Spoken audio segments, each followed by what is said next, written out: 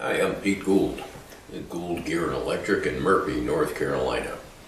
Today we're going to talk about your Dodge Diesel exhaust brake option and the vacuum pump itself. We're going to do a little bit on the diaphragm, which is what goes bad and starts making a racket under the hood, kind of going duck, duck, duck, duck, duck, and you're, you're happy to find out it wasn't a rod knock, that's just a diaphragm making a racket. So I'm going to take one of these apart and show you what's inside of it and show you how it works. I'm going to show you how we fix them and I'm going to show you how to replace it.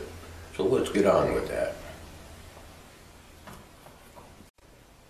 This is how the vacuum pump sits on your engine block under the hood on this big black bracket with a couple other accessories here and there.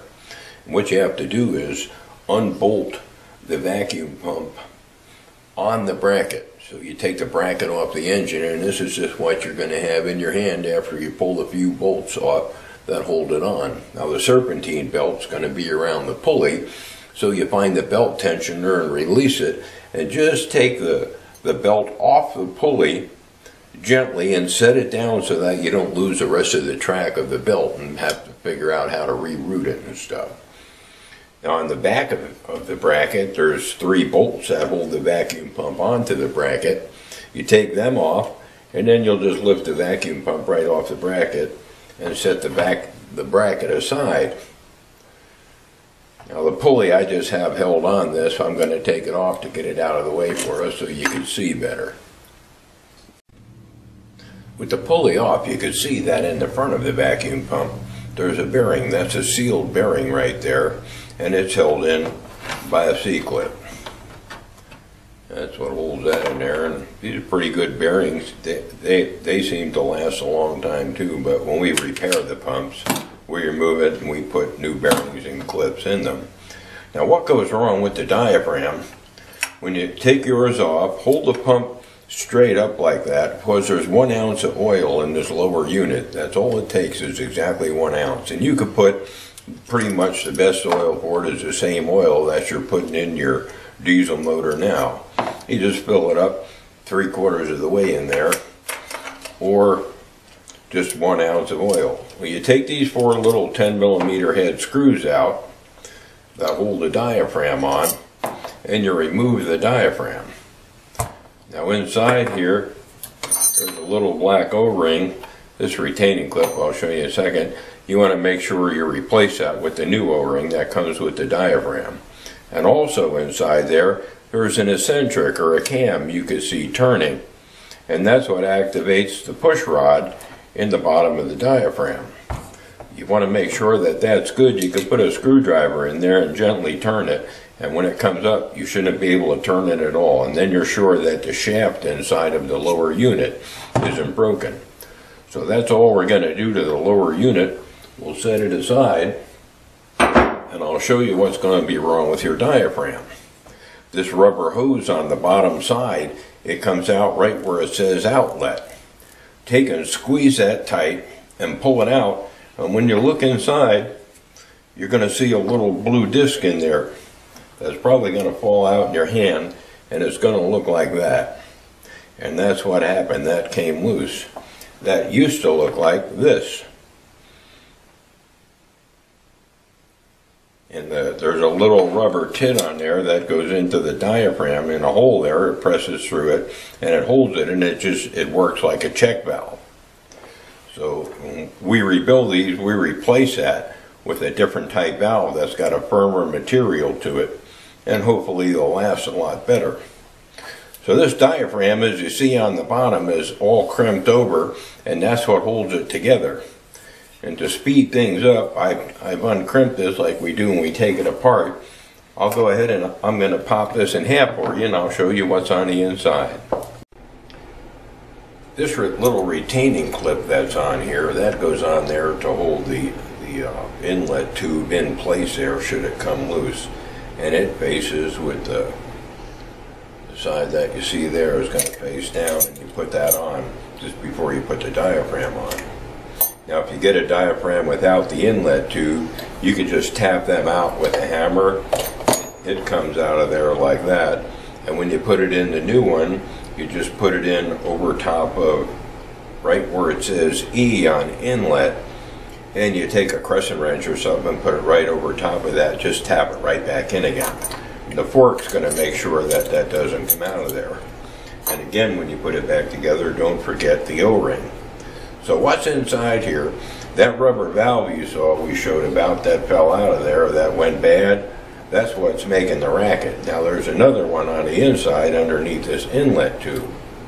So we use a small pair of tool, a tool like this, a crimping tool, and we peel all that back, and then this comes apart. Now what's inside the diaphragm on the bottom is another rubber disc right there, that little valve, a check valve, and this one's usually good. We replace that anyway. So once we're done with that, this is what we're going to have after they're replaced with one new one on each side. Now before we do that, this is the diaphragm. This is what makes the actual vacuum. And it has almost like a valve guide on the valve stem to an engine on it that goes down inside there. And this is what the other side of it looks like. And that sits inside here just like that. That's what we just took out. And this shaft itself goes through a, a miniature oil seal. It's the smallest oil seal I've ever seen. It's very similar to the vacuum pump oil seal to the O2, just a lot smaller.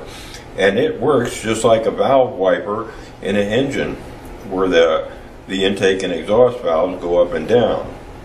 Now there's a big spring inside here and it goes underneath the diaphragm to push it back and underneath the cap where the tube was, where that gets pressed on. And it pushes it back and forth. Sometimes that spring breaks and it makes a racket too. And we replace and put new springs in them when we rebuild them. On the bottom part of the diaphragm, you can see it has what looks like a valve guide. And this is what that looks like out. And this guide is pressed into the bottom piece of the vacuum pump. So we have to press that out and then this new oil seal goes in and the valve, well not the valve guide, the shaft guide goes inside that and that's what guides the diaphragm up and down inside of the diaphragm housing itself.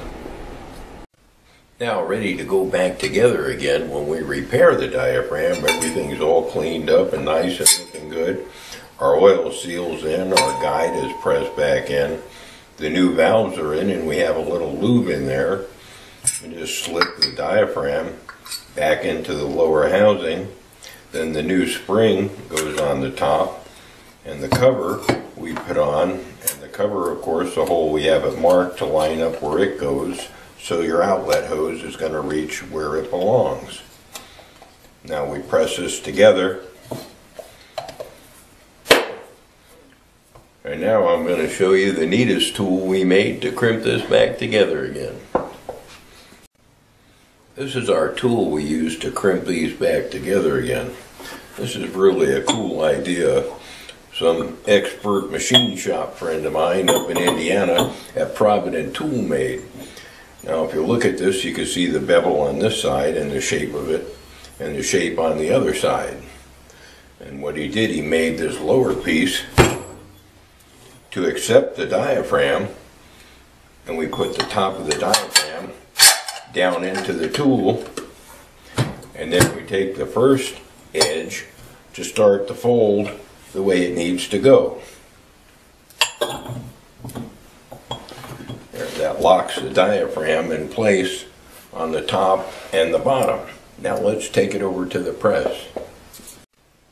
Now in a light press, we just push down and you can see the inner piece goes in and very simply that does the first fold. Let's take a look at that. Now I'm going to take the, the diaphragm out of my first roll there and it's on. And you can see that this tool has already begin to roll the edge over that we peeled back to get it apart. What we're going to do now is go back and do the second stage and finish the crimp. Our line is still aligned. And this disc, by the way, that, that fits down in there keeps everything aligned, I'll show you on this. This little disc, you wonder what that is? That's the muffler. That's a little silencer so this thing doesn't make any more racket than it does. I'll show you on the newest pump that they made for these also that fits the heavy duty pump. They might have sized it. They put a bigger muffler on it to make it even quieter. Now the first fold we just did was with this edge of the tool. Now we turn the tool over and we'll use this edge, which is almost flat but not quite, and we'll put that in there and bring it over to the press and finish our assembly. Now for the final punch,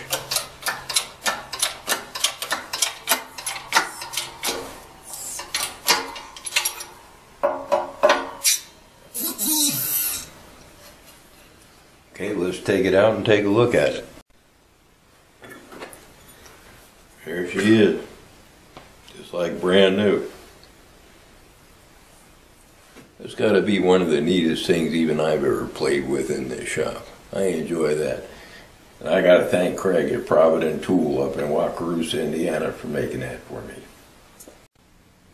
These are our repaired diaphragms. This is what it looks like when it's finished.